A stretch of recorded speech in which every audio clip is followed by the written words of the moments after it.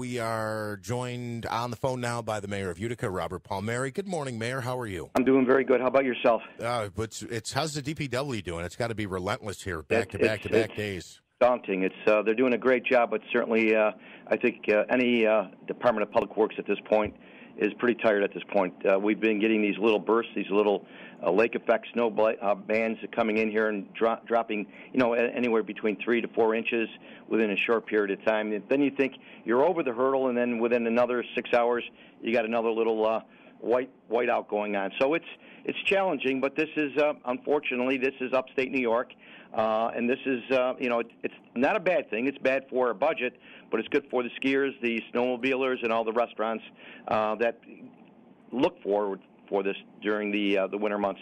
Mayor, you uh, you announced uh, the other day you are seeking a third term in office. Uh, why should the voters of Utica uh, put their trust in you for another four years? Well, I, it's been an honor to serve this great city for the last eight years. And I think uh, when we, we look back on 2012, where, where we have come from, uh, the city was facing uh, bankruptcy. Um, the city didn't have uh, very little economic development going on. Uh, we were stripped of our uh, demolition and our facade through HUD. So we, we had to really lace up our shoes and, and dig down. We made some very difficult decisions. We had to make some cuts of roughly over 20% of our workforce. Uh, we had to raise taxes. Uh, we were downgraded by all three of the rating agencies. Uh, as we look for, forward at this time, uh, we've been upgraded by all three of the rating agencies. a couple times too, right? All three. Yeah. Yeah, Mo- Moody's, Standard and Poor's, and uh, uh, who's it? Uh, Off the top of my head, I can't think. Uh, Fitch, Fitch. Standard and Poor's and Fitch. Yeah. Exactly. So, um, and our fund balance was a negative fifteen thousand dollars, and now we stand uh, roughly at six point seven million dollars in our fund balance, which means that our bond rating has gone up. Uh, If you look at our downtown and the surrounding areas, whether it be North Utica, South Utica, East or West, or Cornhill, there's been an explosion of economic development. Uh, we've had a number of buildings that people have said, you know what, um, you'll never be able to sell them, and these were roughly 12 city-owned properties uh, that we, unfortunately, we they were foreclosed. And whether it be the landmark building or the New Century building or the security building or the ConMed building, uh, I could go on and on. It could be the Roosevelt School, where now we- we're going to have a multi-million dollar um, affordable housing over in Cornhill. Um, you'll look at happen over on uh, West Street with uh, partnering with the Rescue Mission, uh, Jeffrey Hardwares, where it's now is Asteri, um, North Utica, the Harbor, uh, the the relationship I have with the Patels, all these. Um, there's so many great things that are going at this point. Uh, our our tax base increased last year by $12 million. Um, our sales taxes has been up over what we projected, which is a strong indication that economic development in the city is do- going well. Um, our partners within the county, within the state, our federal government, and our local developers uh, has been very strong. Uh, so I just, uh, if you're asking me why, I have a passion for the city. I truly love the city. We did close to over maybe 650 miles of our quality of life sweeps, which we try to bring um, hope back to the people who have said no one cares about them. And we go out during the April until December and we talk, we visit, we clean, we paint.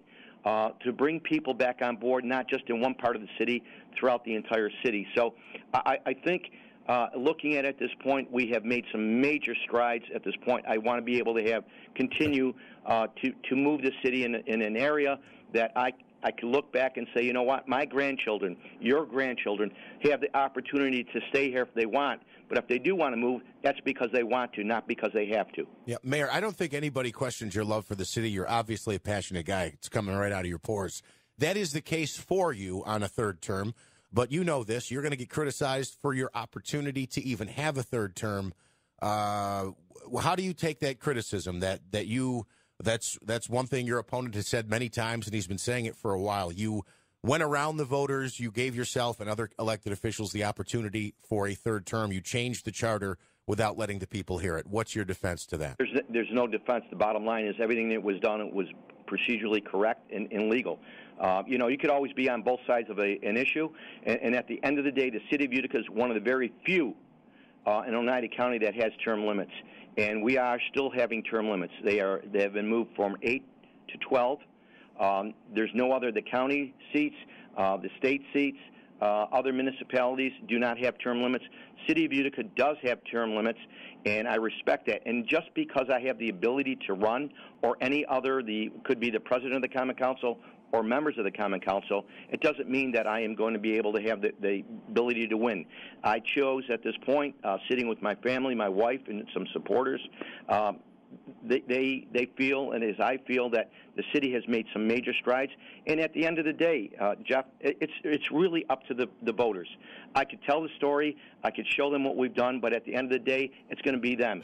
This is not political. You know, everyone's going to have opinions, but I'm, what I'm stating to you at this point are economic development, uh, our our tax base.